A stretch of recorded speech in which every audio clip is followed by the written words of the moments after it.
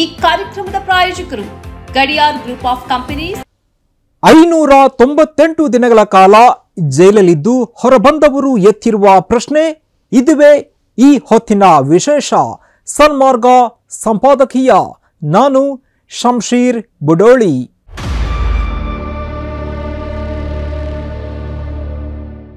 ಉಗ್ರರೆಂಬ ಹಣೆಪಟ್ಟಿ ಹಚ್ಚಿಕೊಂಡು ಬರೋಬ್ಬರಿ ಐನೂರ ತೊಂಬತ್ತೆಂಟು ದಿನಗಳ ಕಾಲ ಜೈಲಲ್ಲಿ ಇದ್ದಂತಹ ಹನ್ನೊಂದು ಮಂದಿ ಮುಸ್ಲಿಮರು ಕಳೆದ ವಾರ ರಿಲೀಸ್ ಆಗಿದ್ದಾರೆ. ಉತ್ತರ ಪ್ರದೇಶದ ಭಯೋತ್ಪಾದನಾ ವಿರೋಧಿ ದಳ ಎರಡು ಸಾವಿರದ ಇಪ್ಪತ್ತ ಎರಡರ ಸೆಪ್ಟೆಂಬರ್ ಇಪ್ಪತ್ತಾರಕ್ಕೆ ಇವರನ್ನ ಬಂಧನ ಮಾಡಿತ್ತು.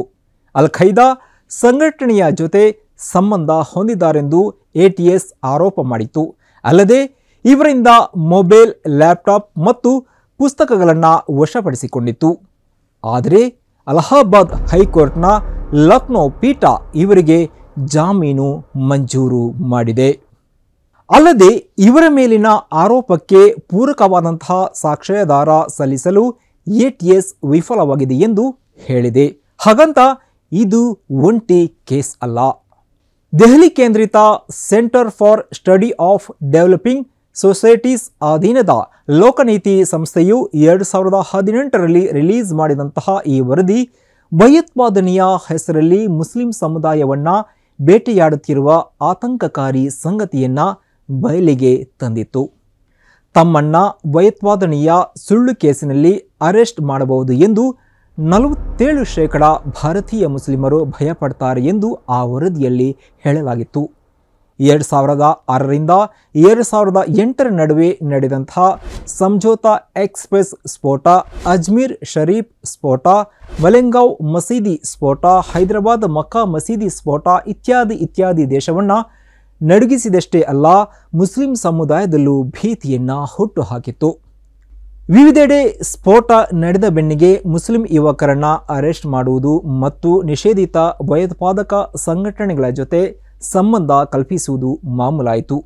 ಮಕ್ಕ ಮಸೀದಿ ಸ್ಫೋಟದ ಬೆನ್ನಿಗೆ ಸುಮಾರು ಇನ್ನೂರಷ್ಟು ಮಂದಿಯನ್ನ ವಶಕ್ಕೆ ಪಡೆಯಲಾಯಿತು. ಇದರಲ್ಲಿ ಹೆಚ್ಚಿನವರು ಮುಸ್ಲಿಮರು. ಸುಮಾರು ಅರವತ್ತೊಂದು ಮಂದಿ ಮುಸ್ಲಿಂ ಯುವಕರು ತೀವ್ರ ದೌರ್ಜನ್ಯಕ್ಕೆ ಒಳಗಾಗಿದ್ರು. ಜೈಲು ಪಾಲಾದರು. ಭಯೋತ್ಪಾದಕರೆಂಬ ಹಣೆಪಟ್ಟಿಯನ್ನು ಹಚ್ಚಿಕೊಂಡಿದ್ರು. ತಾವು ನಮಾಜ್ ಮಾಡುವ ಮಸೀದಿಗೆ ಬಾಂಬಿಟ್ಟವರು ಎಂಬ ಅತಿ ಕ್ರೂರ ಆರೋಪವನ್ನು ಹೊತ್ತುಕೊಂಡವರು. ಮಾಧ್ಯಮಗಳು ಅತಿರಂಜಿತ ಕಥೆಗಳನ್ನು ಕಟ್ಟಿದವು.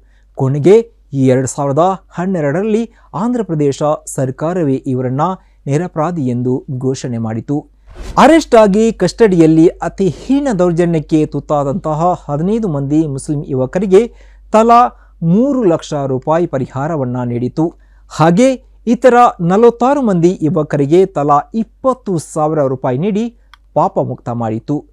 ಮಲೆಂಗಾವ್ ಮಸೀದಿ ಸ್ಫೋಟದ ನೆಪದಲ್ಲಿ ಮಹಾರಾಷ್ಟ್ರ ಭಯೋತ್ಪಾದನಾ ನಿಗ್ರಹ ದಳ ಎಂಟು ಮಂದಿ ಮುಸ್ಲಿಮರನ್ನ ಎರಡು ಸಾವಿರದ ಆರರಲ್ಲಿ ಅಧಿಕೃತವಾಗಿ ಅರೆಸ್ಟ್ ಮಾಡಿತು ಐದು ವರ್ಷಗಳನ್ನ ಜೈಲಲ್ಲಿ ಕಳೆದಂತಹ ಬಳಿಕ ಎರಡು ಸಾವಿರದ ಹನ್ನೊಂದರಲ್ಲಿ ಇವರೆಲ್ಲ ಜಾಮೀನಿನ ಮೂಲಕ ಹೊರಬಂದರು. ಎರಡು ಸಾವಿರದ ಹದಿಮೂರರಲ್ಲಿ ಇವರ ವಿರುದ್ಧ ಚಾರ್ಜ್ ಶೀಟ್ ಸಲ್ಲಿಸಲಾಯಿತು. ಆದರೆ ಎರಡು ಸಾವಿರದ ಹದಿನಾರರಲ್ಲಿ ಇವರನ್ನೆಲ್ಲ ನ್ಯಾಯಾಲಯ ಆರೋಪದಿಂದ ಮುಕ್ತ ಮಾಡಿತು. ಇದಕ್ಕಿಂತಲೂ ಮೊದಲು ಎರಡು ಸಾವಿರದ ಒಂದರಲ್ಲಿ ಇವೆಲ್ಲಕ್ಕಿಂತಲೂ ಆಘಾತಕಾರಿಯಾದ ಅರೆಸ್ಟ್ ಪ್ರಕರಣ ನಡೆಯಿತು. ಅಮೆರಿಕದ ಅವಳಿಗೋಪುರ ಉರುಳಿದ ತಿಂಗಳ ಬಳಿಕ ಗುಜರಾತ್ನ ಸೂರತ್ನಲ್ಲಿ all India minority education board ಮೂರು ದಿನಗಳ ಕಾಲ ಶೈಕ್ಷಣಿಕ ಸೆಮಿನಾರ್ ಅನ್ನ ಆಯೋಜನೆ ಮಾಡಿತು.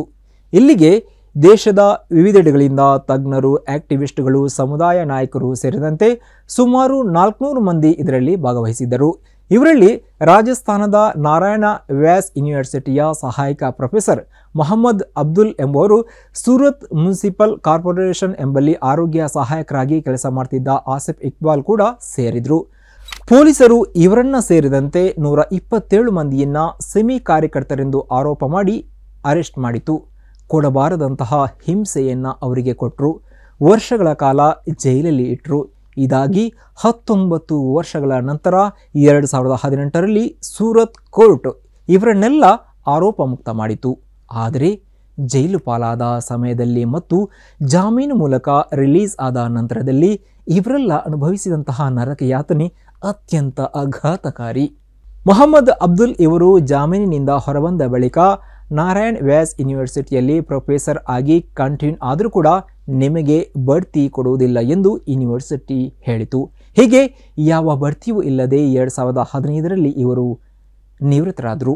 ಈ ನಡುವೆ ಜಾಮೀನಿನ ಮೇಲೆ ಹೊರಗಿದ್ದ ಸಮಯದ ಉದ್ದಕ್ಕೂ ಇವರು ಅನುಭವಿಸಿದ ಎಡರು ತೊಡರುಗಳು ಗುರುತರವಾದದ್ದು. ಪ್ರತಿ ವಾರ ರಾಜಸ್ಥಾನದ ಜೋಧ್ಪುರದಿಂದ ನಾಲ್ಕುನೂರ ಮೂವತ್ತು ಕಿಲೋಮೀಟರ್ ದೂರದ ಸೂರತ್ ಪೊಲೀಸ್ ಠಾಣೆಗೆ ಬಂದು ಸಹಿ ಹಾಕಬೇಕಾಗಿತ್ತು.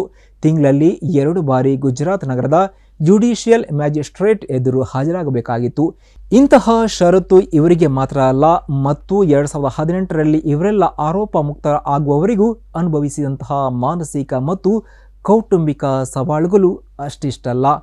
ಹಾಗೆ ಎರಡು ಸಾವಿರದ ಇಪ್ಪತ್ತರ ಅಕ್ಟೋಬರ್ ತಿಂಗಳಲ್ಲಿ ಅರೆಸ್ಟ್ ಆಗಿ ಸುಮಾರು ಎರಡೂವರೆ ವರ್ಷಗಳ ಕಾಲ ಜೈಲಲ್ಲಿ ಇದ್ದಂತಹ ಪತ್ರಕರ್ತ ಸಿದ್ದಿಕ್ ಕಪ್ಪಾನ್ ಕತೆ ಬೇರೆಯಲ್ಲ. ಹಥ್ರಾಸ್ ಘಟನೆಯ ಬಗ್ಗೆ ವರದಿ ಮಾಡೋಕೆ ಹೊರಟಂತಹ ಸಿದ್ದಿಕ್ ಮತ್ತು ಇತರ ಮಂದಿಯನ್ನ ಉತ್ತರ ಪ್ರದೇಶದ ಪೊಲೀಸರು ಅರೆಸ್ಟ್ ಮಾಡಿ ಯು ಎ ಪಿ ಎ ಕೇಸನ್ನು ದಾಖಲಿಸಿದರು. ಎರಡು ಸಾವಿರದ ಇಪ್ಪತ್ತ ಎರಡರ ಸೆಪ್ಟೆಂಬರ್ ತಿಂಗಳಲ್ಲಿ ಸುಪ್ರೀಂ ಕೋರ್ಟ್ ಸಿದ್ದಿಕ್ ಇವರಿಗೆ ಜಾಮೀನು ನೀಡಿದರೂ ಕೂಡ ಬಿಡುಗಡೆಗೆ ಅಕ್ರಮ ಹಣ ವರ್ಗಾವಣೆ ಪ್ರಕರಣ ತಡೆಯಾಯಿತು. ಬಳಿಕ ಎರಡು ಸಾವಿರದ ಇಪ್ಪತ್ತ ಮೂರರ ಫೆಬ್ರವರಿ ತಿಂಗಳಲ್ಲಿ ಜಾಮೀನು ಇವರಿಗೆ ಸಿಕ್ಕಿತು. ಸತಾಯಿಸುವಂತಹ ಉದ್ದೇಶದಿಂದಲೇ ಕಪ್ಪಾನ್ ಮೇಲೆ ಕೇಸ್ ದಾಖಲಿಸಲಾಗಿದೆ ಎಂಬ ಅಭಿಪ್ರಾಯ ಅಂದು ಇಂದು ವ್ಯಾಪಕವಾಗಿಯೇ ಇದೆ. ಅಂದಹಾಗೆ, ಸರಣಿ ಸ್ಫೋಟ, ಮುಸ್ಲಿಂ ಯುವಕರ ಸರಣಿ ಬಂಧನ ಹಾಗೂ ವರ್ಷಗಳ ಕಾಲ ಸತಾಯಿಸಿದಂತಹ ಬಳಿಕ ಆಗುವ ರಿಲೀಸ್ ಎಲ್ಲ ಅನುಮಾನ ಸೃಷ್ಟಿ ಮಾಡ್ತಾ ಇದೆ. ಮುಸ್ಲಿಂ ಸಮುದಾಯವನ್ನ ವ್ಯವಸ್ಥಿತವಾಗಿ ಗುರಿ ಮಾಡಲಾಗಿತ್ತೆ ಮುಸ್ಲಿಮರೆಂದರೆ ಭಯೋತ್ಪಾದಕರು, ದೇಶದ್ರೋಹಿಗಳು, ರಕ್ತ ಪಿಪಾಸುಗಳು ಎಂಬ ಭಾವ ಮೂಡುವಂತೆ ಮಾಡುವಂತಹ ಉದ್ದೇಶ ಹೊಂದಲಾಗಿತ್ತೆ? ಮುಸ್ಲಿಮರನ್ನ ಪಾಕಿಸ್ತಾನಿ ಹಿತೈಷಿಗಳಂತೆ ಬಿಂಬಿಸುವಂತಹ ಪ್ರಯತ್ನ ನಡೆದಿದ್ದೇವೆ. ಇಂತಹ ಸಂಚಿನ ಅಗತ್ಯ ಯಾರಿಗಿತ್ತು, ಯಾಕಿತ್ತು? ಈ ದೇಶದಲ್ಲಿ ಬಾಂಬ್ ಸ್ಫೋಟ ಮತ್ತು ಜೀವಹಾನಿ ಆಗಿದ್ದಂತೂ ನಿಜ. ಅದನ್ನ ನಡೆಸಿರುವುದು ಯಾರೇ ಆಗಿದ್ರೂ ಅವರು ಮಾನವ ದ್ರೋಹಿಗಳು, ದೇಶದ್ರೋಹಿಗಳು. ಅಲ್ಲದೆ ಧರ್ಮ ದ್ರೋಹಿಗಳು ಮತ್ತು ಈ ಜಗತ್ತಿನಲ್ಲಿ ಜೀವಿಸೋಕೆ ಯಾವ ಕಾರಣಕ್ಕೆ ಅವರಿಗೆ ಅರ್ಹತೆ ಇಲ್ಲ? ಈ ನಿಲುವಿನಲ್ಲಿ ಯಾವ ರಾಜ್ಯವೂ ಇಲ್ಲ. ಆದರೆ ಬಾಂಬ್ ಸ್ಫೋಟಗೊಳ್ಳುವುದು ಮತ್ತು ಮುಸ್ಲಿಂ ಯುವಕರನ್ನ ಬಂಧನ ಮಾಡುವುದು ಎಂಬುದರ ಹಿಂದೆ ಅಸಹಜವಾದದ್ದು ಇತ್ತೆ. ಸಂಚು ಇತ್ತೆ. ಮಲೆಂಗಾಂ ಮತ್ತು ಮಕ್ಕ ಮಸೀದಿ ಸ್ಫೋಟದ ಆರೋಪದಿಂದ ಬಂಧಿತ ಮುಸ್ಲಿಂ ಯುವಕರು ಬಿಡುಗಡೆಯಾದರಲ್ಲ ಹಾಗಿದ್ರೆ ನಿಜವಾದ ಅಪರಾಧಿಗಳು ಯಾರು? ಅವರ ಉದ್ದೇಶ ಏನು? ಬಾಂಬ್ ಸ್ಫೋಟಗೊಂಡಂತಹ ತಕ್ಷಣ ಪೊಲೀಸರು ಮುಸ್ಲಿಂ ಯುವಕರನ್ನೇ ಬಂಧಿಸಲು ಕಾರಣ ಏನು? ಅನುಮಾನವೇ ಅಥವಾ ದುರುದ್ದೇಶವೇ? ಅಂದಹಾಗೆ ಮುಸ್ಲಿಮರೆಲ್ಲ ನೂರು ಶೇಕಡ ಪ್ರಾಮಾಣಿಕರು ಎಂದಲ್ಲ. ಅಪರಾಧ ಪ್ರವೃತ್ತಿ ಎಲ್ಲ ಸಮುದಾಯಗಳಂತೆ ಮುಸ್ಲಿಂ ಸಮುದಾಯದಲ್ಲೂ ಇದೆ. ಆದರೆ ಭಯೋತ್ಪಾದನೆಯ ಹೆಸರಲ್ಲಿ ಈವರೆಗೆ ಆಗಿರುವಂತಹ ಬಂಧನ ವೈಭವೀಕೃತ ಮಾಧ್ಯಮ ವರದಿ ಟಿವಿ ತನಿಖಾ ವರದಿಗಳು ಮತ್ತು ಇನ್ನಿತರ ಡೆವಲಪ್ಮೆಂಟ್ ಒಂದು ಸಮುದಾಯವನ್ನು ಮಾತ್ರ ಟಾರ್ಗೆಟ್ ಮಾಡಿಕೊಂಡಿರುವುದು ಅನುಮಾನವನ್ನು ಹುಟ್ಟು ಹಾಕ್ತಾ ಇದೆ. ಬಂಧಿಸಿ ವರ್ಷಗಳ ಕಾಲ ಜೈಲಲ್ಲಿ ಇಡುವುದು ಮತ್ತು ಜಾಮೀನು ದೊರೆತು ವರ್ಷಗಳ ಬಳಿಕ ಆರೋಪ ಮುಕ್ತರಾಗುವುದು ಹಲವು ಪ್ರಶ್ನೆಗಳಿಗೂ ಕಾರಣ ಆಗ್ತಾ ಇದೆ. ಅರೆಸ್ಟ್ ಆದವರು ಆರೋಪ ಮುಕ್ತರಾಗುವುದೆಂದರೆ ಅಸಲಿಗೆ ಭಯೋತ್ಪಾದಕರು ಯಾರು ಎಂಬ ಪ್ರಶ್ನೆ ಮಹತ್ವವನ್ನು ಇದೀಗ ಪಡಿತಾ ಇದೆ. ಭಯೋತ್ಪಾದನೆಯ ಬಗ್ಗೆ ಶೂನ್ಯ ಸಹನೆ ಇರಬೇಕೆಂಬುದರಲ್ಲಿ ಈ ಎರಡು ಮಾತಿಲ್ಲ. ಭಯೋತ್ಪಾದನೆ ಮಾನವ ವಿರೋಧಿ ಅದರಾಚೆಗೆ ಈ ಭಯೋತ್ಪಾದನೆಯ ಹೆಸರಲ್ಲಿ ಮುಸ್ಲಿಂ ಯುವಕರನ್ನ ಉದ್ದೇಶಪೂರ್ವಕವಾಗಿ ಗುರಿ ಮಾಡಲಾಗಿದೆಯೇ ಎಂಬುದು ಮುಖ್ಯ.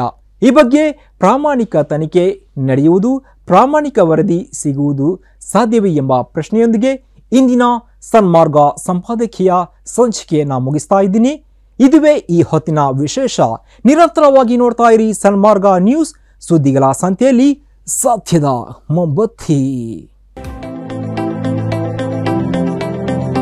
Gadiar Group of Companies, synonymous with excellence and innovation, stands as your dynamic partner for progress. Gadiar Group ensures safety as guardians in firefighting and builds vibrant communities in real estate. Building tomorrow, today.